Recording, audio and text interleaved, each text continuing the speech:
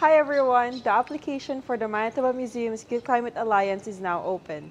The Youth Climate Alliance is a group of grades 9 to 12 students who will work together to better understand climate change and, and its impacts.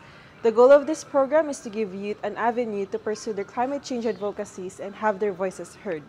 This initiative is made possible by Gen Action, a project funded by the Government of Canada's Climate Action and Awareness Fund that aims to empower youth to take action on climate change and inspire them to become leaders in their communities. To learn more about this program, you can visit our website. The fall cohort will run from late September to early December 2023.